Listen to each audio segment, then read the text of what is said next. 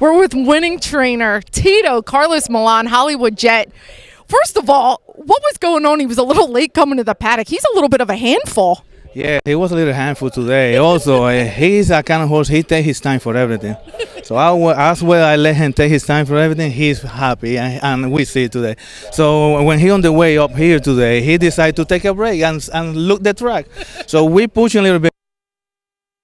So he decided it loose and go a little ride by himself, and then we catch him and he get the job done. so we we happy about it. Boy, he's an awesome horse, and he's really repaid you today. He looked perfect. He won last time. He didn't look super fit, but he still dug in and had the heart. And today, he looked the part.